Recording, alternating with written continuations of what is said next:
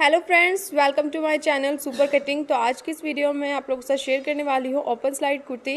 इसकी कटिंग और स्टिचिंग में आप लोगों के साथ शेयर करूँगी। टॉप पार्ट पर हमने इस पर मिरर के साथ डिज़ाइनिंग की है। हाई स्लाइड यहाँ पर रखे हैं इसके। इसके स्लाइड्स पर यहाँ पर हमने ट्राइंगल्स का इससे से डिज़ाइन यहाँ पर किया है। साइड में यहाँ पर हमने हैवी टेसल्स यहाँ पर अटैच की है। इसकी कटिंग और स्टिचिंग मैं आप लोग के साथ बहुत ही इजी और सिंपल तरीके से शेयर करने वाली हूँ। उससे पहले अगर आप हमारे चैनल पर न्यू हो और आपने चैनल को सब्सक्राइब नहीं किया है तो चैनल को सब्सक्राइब कर दीजिए बेल आइकन पर प्रेस कीजिए कि आपको आने वाली वीडियो की नोटिफिकेशन मिलती रहे। तो यहाँ पर इसको बनाने के लिए हम यूज़ कर रहे हैं। इससे कि मैंने हैवी जोर्जेट ली है। हैवी जोर्जेट में से हम अपना ड्रेस तैयार करेंगे। तो यहाँ पर टॉप पार्ट के लिए फैब्रिक को इस से चार फोल्ड करके रखा है। यानी कि हमारा फैब्रिक यहाँ पर फोर फोल्ड है। इसकी लेंथ यहाँ पर ली है सिक्सटीन इंच और इसकी वेथ है फैब्रिक की ट्वेल्व इंच अब सबसे पहले हम शोल्डर्स के लिए मार्क करेंगे, यानी कि तीरे के लिए। यहाँ पर लगाएँगे सिक्स पॉइंट फाइव इंच साढ़े छः इंच आर्मोल की लेंथ भी यहाँ पर हम साढ़े छः इंच लेंगे। और यहाँ पर से किसी स्ट्रेट लाइन ड्रॉ कर लेंगे। निशानों को सिक्स से मिला लेंगे। इसके बाद यहाँ पर भी हम यहाँ पर लाइन ड्रॉ करेंगे और चेस्ट की फिटिंग का निशान लगाएँगे। तो यहाँ पर लगा रहे हैं साढ़े नौ इंच पर। कमर की फिटिंग का यहाँ पर निशान लगाएँगे तो यहाँ पर लगाना है हमें सेवन पॉइंट फाइव इंच और एक इंच लेंगे टक्स के लिए। और यहाँ पर दो इंच रखेंगे मार्जिन ऊपर और नीचे की साइड दो दो इंच मार्जिन रखते हुए इन निशानों को मिला लेंगे। और यहाँ पर इस निशान को भी इस तरीके से मिलाएँगे फिटिंग के। तो यहाँ पर हमने फिटिंग का निशान लगा लिया है। इसके बाद टक्स के लिए मार्किंग करेंगे। तो फोल्डेड साइड से एक निशान लगाएँगे। 3.5 इंच और टक्स की लेंथ लेंगे 4 इंच और यहाँ पर इस तरीके से स्ट्रेट लाइन ड्रॉ करेंगे। अब इस लाइन के दोनों साइड हाफ़ हाफ़ इंच कर इस तरीके से तिरछा निशान लगाएँगे। और यहाँ पर हमारी जो टक्स की मार्किंग है, वो कंप्लीट है। इसके बाद हम आर्मोल्स के लिए निशान लगाएँगे। तो आर्मोल्स को गोलाई देने के लिए लेंगे डेढ़ इंच। डेढ़ इंच पर इस तरीके से गोलाई देंगे। फ्रंट आर्मोल्स के लिए हाफ़ इंच आगे साइड निशान लगाएँगे और इस तरीके से लाइन ड्रॉ करेंगे और इसके बाद हम फ्रंट आर्मोल्स को गोलाई देंगे। तो इस तरीके से मार्किंग कर ली है और अब हम इसकी कटिंग कर लेंगे। तो यहाँ पर कटिंग कर ली है और नीचे की साइड हाफ़ इंच का निशान लगाएँगे और इसको सिक से तिरछा मिला लेंगे। इसे पहनने के बाद बहुत ही अच्छी फिटिंग आएँगी हमारी कुर्ती की।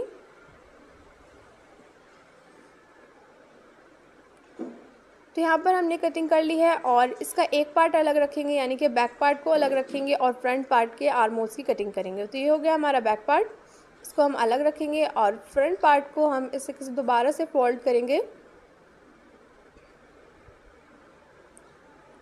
और इसके आर्मोल्स की कटिंग कर लेंगे। आर्मोल्स की कटिंग करने के बाद हाफ़ इंच हम शोल्डर्स को डाउन देंगे फ्रंट पार्ट के। तो यहाँ पर हमने कटिंग कर ली है आर्मोल्स की और अब हम इसकी स्टिचिंग स्टार्ट करेंगे। यहाँ पर जो हमने टक्स के लिए मार्किंग की थी, वहाँ से फैब्रिक को फोल्ड करेंगे और इसी तिरछे निशान पर हम सिलाई लगाएँगे। दूसरी साइड भी इस तरीके से फैब्रिक को फोल्ड करके रखेंगे और तिरछे निशान पर हम सिलाई लगा लेंगे। तो देखिए यहाँ पर हमने सिलाई लगा ली है। इनको स्टिच कर लिया है और इस तरीके से हमारी टक्स तैयार है। टक्स तैयार करने के बाद हम फैब्रिक को फोल्ड करेंगे और सेंटर का निशान लगाएँगे। ये देखिए, इस तरीके से सेंटर का निशान लगाना है और इसके बाद यहाँ पर हम इस पर नेक तैयार करेंगे। तो यहाँ पर मैंने राउंड नेक लिया है। आप अपनी चॉइस के अकॉर्डिंग किसी भी शेप का नेक ले सकते हो। यहाँ पर लेंथ और वेट इसकी सिक्स इंच ली है। इस पर भी हम सेंटर का निशान लगाएँगे। ये देखिए, इस तरीके से सेंटर का निशान लगाना है हमें नेक पर। टॉप पार्ट के और नेक के सेंटर को निशान को मिलाते हुए सिलाई लगाएँगे और उसके बाद बुकरम के साथ साथ सिलाई लगाकर हम अपना नेक तैयार करेंगे। तो देखिए, यहाँ पर हमने सिलाई लगा ली है। बुकरम के साथ साथ सिलाई लगाकर हमने इसको तैयार किया है। अब अंदर की साइड हाफ़ इंच मार्जिन का छोड़ते हुए एक्स्ट्रा फैब्रिक को कट करेंगे। और इसके बाद यहाँ पर इस तरीके से कट लगाएँगे। से छोटे छोटे कट लगाएँगे और इसके बाद अब हम इसको पलट लेंगे।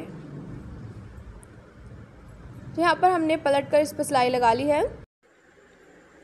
सिलाई लगाने के बाद इस पर मैंने ये लिए है मिरर डिज़ाइनिंग करने के लिए।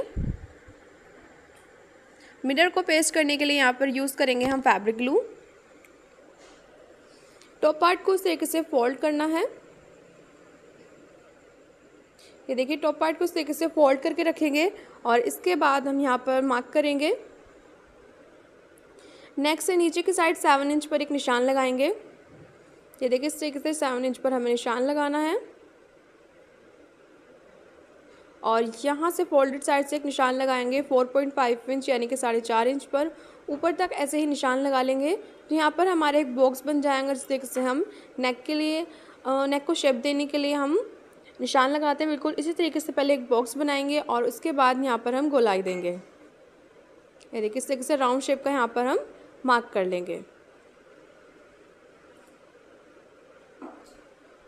अब यहाँ पर हमने निशान लगा लिया है। अब दूसरी साइड भी इस निशान को ट्रांसफ़र करेंगे। और निशान को मैं यहाँ पर डार्क कर लूँगी ताकि आपको अच्छे से नज़र आए।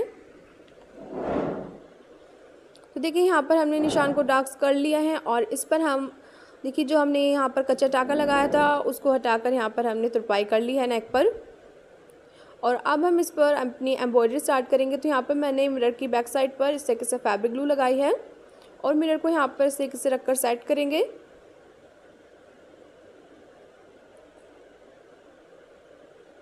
ये देखिए, इस तरीके से हम अपने टॉप पार्ट पर मिरर की एम्ब्रॉयडरी कर कर तैयार करेंगे।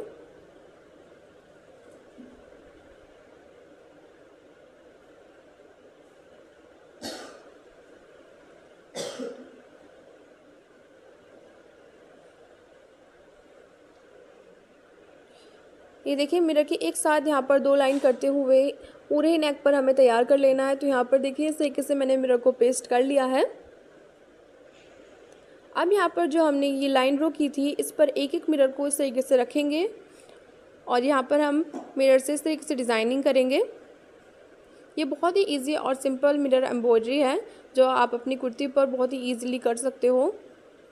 तो देखिए, यहाँ पर मैंने पूरे पर ऐसे ही मिरर को एक एक मिरर को पेस्ट कर लिया है। अब यहाँ पर सेंटर का जो निशान लगाया था उस पर हम इस तरीके से मिरर रखेंगे। ये देखिए, यहाँ पर पहले हमने तीन मिरर रखे और यहाँ पर एक और रखेंगे और एक फ्लावर बनाएँगे इन्हीं मिरर से। ये देखिए, इस तरीके से बहुत ही इजीली यहाँ पर फ्लावर बनकर तैयार हो जाएगा। आप इसको घर पर अपनी ड्रेस को खुद ही डिज़ाइन कर सकते हो बहुत ही सिंपली। अब यहाँ पर साइड में हम फिर से इस तरीके से मिरर रखेंगे और यहाँ पर एक लीव की शेप बनाएँगे।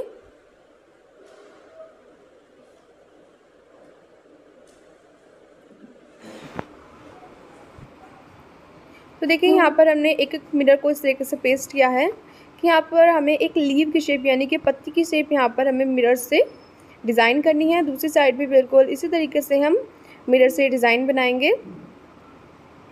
देखिए इस साइड भी। यहाँ पर हमने दूसरी साइड भी इस तरीके से डिज़ाइन बना लिया है। और टॉप पार्ट को यहाँ पर मैंने फ्रेम में सेट कर लिया है। और ये रेशम का धागा लिया है, आप अपने फैब्रिक के अकॉर्डिंग किसी भी शेड के यहाँ पर रेशम ले सकते हो। यहाँ पर मैंने सुई में छः से सात धागे यहाँ पर डाले हुए हैं। और इनको इस तरीके से हम अपने मिरर को इस रेशम के धागे से कवर करेंगे। ये देखिए। एक साइड इस तरीके से सुई को निकालते हो और दूसरी साइड यहाँ पर डालेंगे। इस तरीके से यहाँ पर हम इस पर एम्ब्रॉयडरी करते हुए अपने मिरर को कवर करेंगे। सभी मिरर पर हमें बिल्कुल इसी तरीके से रेशम का वर्क करना है।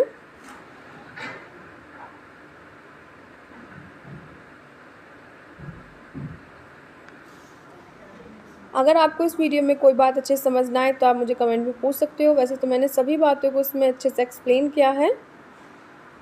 ये ऊपर की साइड भी हम मिरर के इसी तरीके से यहाँ पर तीन से चार टाके लगाएँगे और अपने मिरर को यहाँ पर अच्छे से इससे क्या होगा, जो हमारा मिरर है, वो अच्छे से सेट भी हो जाएगा और बहुत ही खूबसूरत यहाँ पर एम्ब्रॉयडरी होकर तैयार होंगी। आपको एक साइड देखिए, इस तरीके से यहाँ पर हम सुई को निकालेंगे और फिर दूसरी साइड यहाँ पर इस तरीके से डाल देंगे। ये देखिए, इस तरीके से सुई से टाके लगाते हुए हमें यहाँ पर अपने मिरर को कवर करना है, ऊपर और नीचे की साइड दोनों साइड से हमें इस तरीके से रेशम का वर्क करेंगे।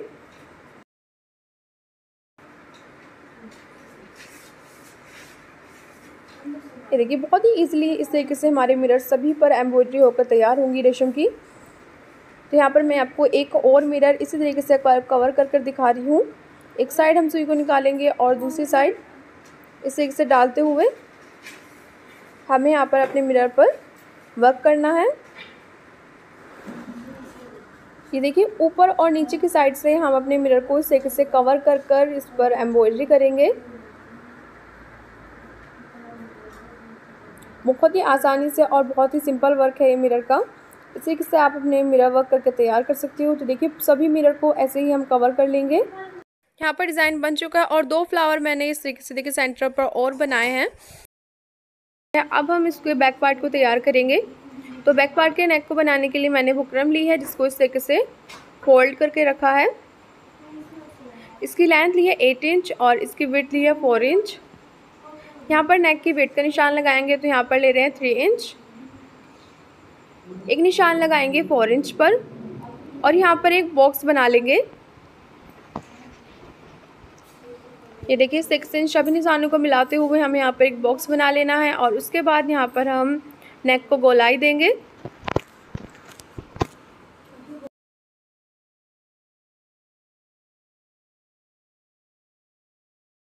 ये देखिए, और उसके बाद नीचे की साइड यहाँ पर हम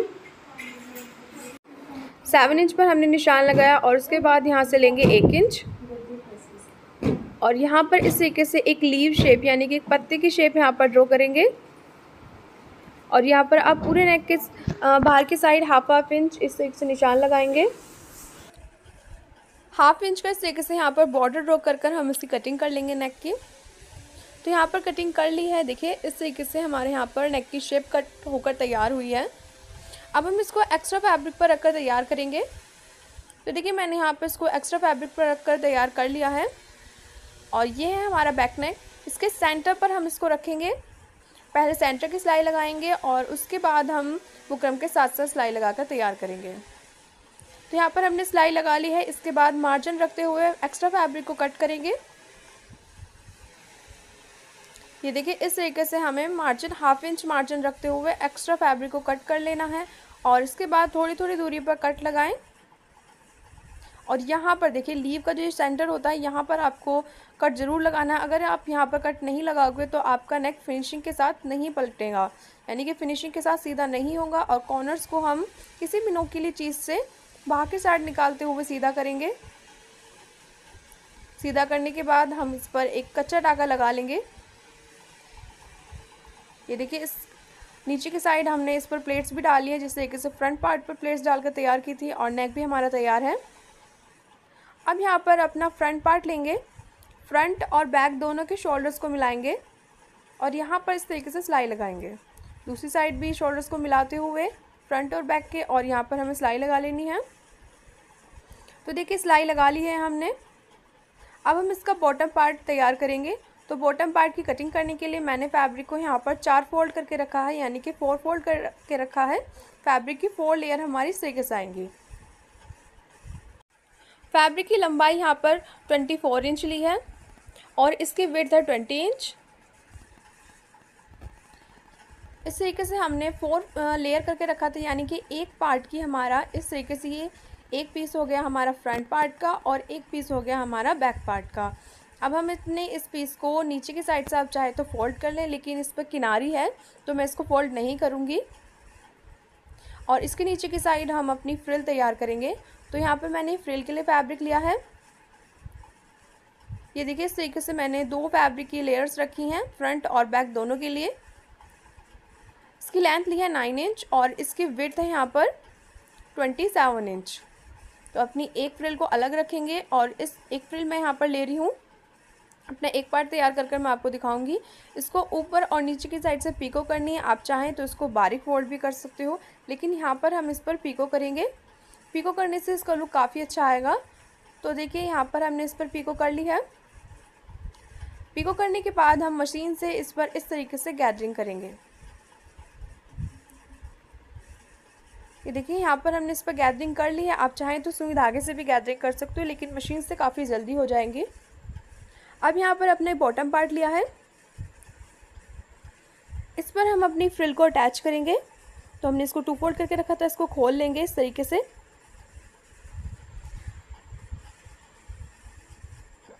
इसको अब यहाँ पर हम, देखो मैं फिर से आपको बता रही हूँ, अगर आपके कपड़े की किनारी नहीं है नीचे की साइड तो आप इसको पहले फोल्ड ज़रूर कर लें। उसके बाद इस तरीके से रखते हुए पूरी फ्रिल को अपने बॉटम पर अटैच करें। ये देखिए इस तरीके से रखते हुए हम इसको अटैच कर लेंगे। जो हमने गैदरिंग की सिलाई इस पर लगाई थी, उसी के ऊपर हमें सिलाई लगाते हुए इसको अटैच करना है। तो यहाँ पर हमने फ्रिल अटैच कर ली है। अब हमें इसे ऊपर की साइड से तैयार करेंगे। तो यहाँ पर हम इस पर एक निशान लगाएँगे ऊपर की साइड थ्री इंच पर। ये देखिए, यहाँ पर हम तीन इंच पर एक निशान लगा रहे हैं। दूसरी साइड भी बिल्कुल इसी तरीके से तीन इंच पर एक निशान लगाएँगे। तो दोनों साइड हमने तीन तीन इंच का निशान लगाया। अब यहाँ पर हमने निशान लगा लिए हैं। इसके बाद यहाँ पर अंदर की साइड इस तरीके से बारीक बारीक प्लेटें डालकर हम इसको तैयार करेंगे। बहुत ही छोटे छोटे साइज़ की हमें यहाँ पर प्लेटें बनानी हैं। तो देखिए, यहाँ पर मैंने इस तरीके से बारीक प्लेटें बनाते हुए इसको तैयार कर लिया है। अब यहाँ पर हम इसको मेज़र करेंगे। जितनी हमारी कमर की फिटिंग है, उतनी इसकी चौड़ाई है कि दोनों साइड हाफ़ हाफ़ इंच छोड़ेंगे क्योंकि हम इसको जब फोल्ड करेंगे तो एक एक इंच सिलाई में जाएगा और बाकी हमारे यहाँ पर बिल्कुल सही है, पंद्रह इंच आ रहा है क्योंकि पंद्रह इंच हमारी कमर की फिटिंग है।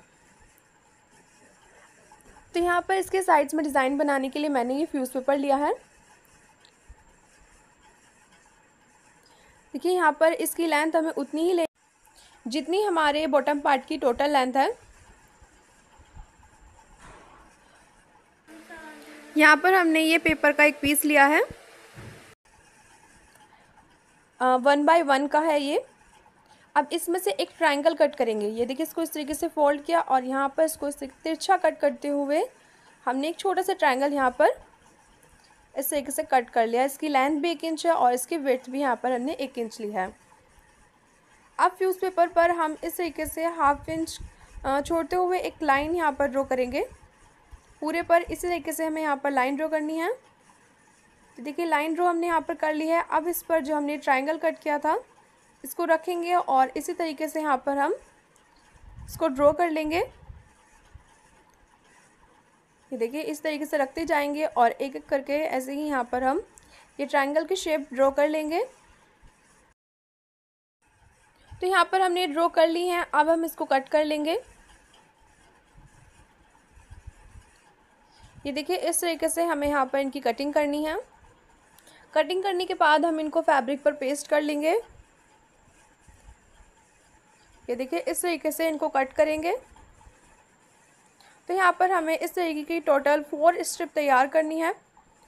तो यहाँ पर देखिए, मैंने इसको कंट्रास्ट फैब्रिक लेते हुए इनको पेस्ट कर लिया है और यहाँ पर मैंने इस तरीके की चार ये जो फ्यूज़ पेपर में से चार पट्टियाँ कर कर कर इनको पेस्ट किया है। फ्रंट और बैक दोनों ही पार्ट्स के लिए बॉटम के। तो यहाँ पर हमने कटिंग कर ली है इनकी और इनके नीचे की साइड बराबर साइज़ का मैंने एक्स्ट्रा फैब्रिक लिया है। नीचे की साइड एक्स्ट्रा फैब्रिक रखा है और इनके साथ साथ इस तरीके से हम फ्यूज़ पेपर के साथ साथ सिलाई लगाएँगे चारों ही स्ट्रिप पर। चार ही पट्टी को ऐसे ही हम तैयार कर लेंगे। तो देखिए इस पर हमने सिलाई लगा ली है। सिलाई लगाने के बाद इस तरीके से हम इसकी कटिंग करके बहुत ही यहाँ पर देखिए थोड़ा थोड़ा फैब्रिक यहाँ पर हमें छोड़ते हुए, ज़्यादा फैब्रिक नहीं छोड़ना है, बहुत ही कम फैब्रिक छोड़ते हुए हम इसकी कटिंग करेंगे। कटिंग करेंगे इस तरीके से देखिए। कटिंग करने के बाद यहाँ पर कॉर्नर्स पर इस तरीके से कट लगाएँगे। यहाँ पर छोटे छोटे इस तरीके से कट लगाने हैं ताकि अच्छे से सीधा हो जाए। और कट लगाने के बाद हम इसको राइट साइड पर इस तरीके से टर्न करेंगे। तो देखिए, यहाँ पर हमने अपनी ये स्ट्रिप तैयार कर ली हैं। ये पट्टियाँ हमने यहाँ पर इस तरीके तैयार की। दो, मैंने दो पट्टियाँ ली हैं, एक पार्ट के लिए बॉटम के। ये देखिए, इनको इस तरीके से यहाँ पर रखेंगे। इस साइड भी हम एक स्ट्रिप को इस तरीके से यहाँ पर अटैच करेंगे और दूसरी साइड भी देखिए ट्रायंगल स्ट्रिप को ऐसे ही यहाँ पर हमें अटैच कर लेना है। ये देखिए, यहाँ पर मैंने ट्रायंगल स्ट्रिप ली है, जिसको यहाँ पर राइट साइड पर रखेंगे और आगे की साइड एक ट्रायंगल को निकालते हुए इस तरीके से फोल्ड कर लेंगे।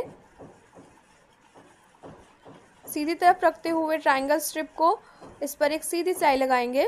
राइट साइड पर रखना है और ऐसे ही रखते हुए सीधी सिलाई लगाएँगे।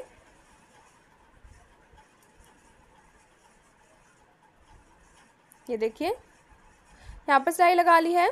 अब इसको इस तरीके से एक बार हम यहाँ पे पहले इस तरीके से फोल्ड करेंगे और इसके बाद एक और फोल्ड करेंगे। दो बार फोल्ड करते हुए हम इसको रखेंगे। इस तरीके से पहले इस तरीके से करेंगे और फिर इसको इस तरीके से फोल्ड करते हुए इस पर सिलाई लगाएँगे। दो बार मोड़ कर हमें इसको रखना है और इस पर सिलाई लगा लेनी है।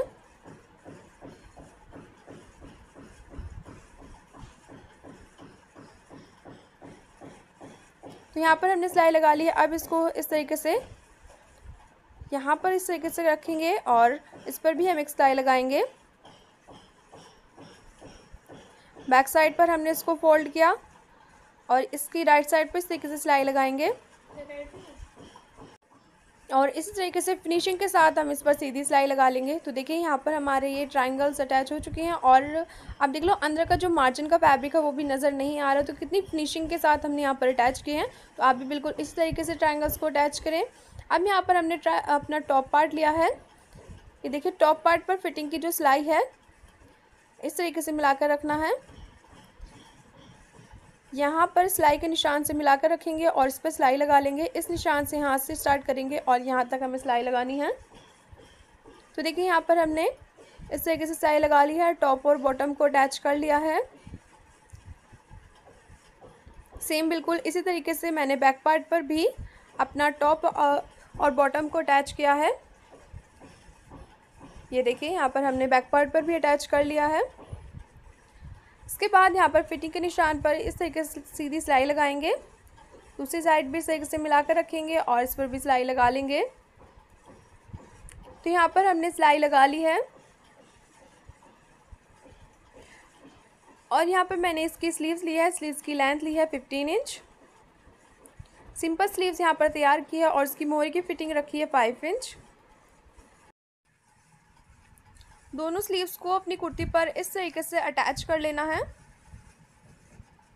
तो यहाँ पर हमने कुर्ती पर स्लीव्स अटैच कर ली है बैक नेक पर। यहाँ पर हमने हुक और हाई को अटैच किया है। देखिए बैक नेक पर हमने इस तरीके से हुक और हाई यहाँ पर अटैच की है। स्लीव्स हमारे अटैच हो चुके हैं और स्लाइड्स पर देखिए हमने यहाँ पर सेकी टेसल्स बनाकर, लटकन बनाकर अटैच की हैं। डबल शेड में यहाँ पर हमने हैवी लटकन अटैच की है। इनकी कटिंग और स्टिचिंग का लिंक भी मैंने डिस्क्रिप्शन बॉक्स में दिया है। यहाँ से आप इनकी वीडियो देख सकते हो। और ये है इसका प्लाजो। प्लाजो की कटिंग स्टिचिंग मैंने आप लोग के साथ पहले शेयर की है। अगर आपने नहीं देखी है तो उसका लिंक मैं डिस्क्रिप्शन बॉक्स में दे दूँगी। आप वहाँ से वीडियो देख सकते हो। और यहाँ पर हमने इसके साथ ही दुपट्टा है, जिसके फोर साइड लेसेस के साथ नेट का दुपट्टा तैयार किया है। अगर आपको आज के वीडियो पसंद आया हो वीडियो को लाइक, शेयर और चैनल को सब्सक्राइब करना ना भूलें। तो आज के लिए बस इतना ही। न्यू वीडियो फिर मिलूँगी कुछ न्यू डिज़ाइन के साथ। Thanks for watching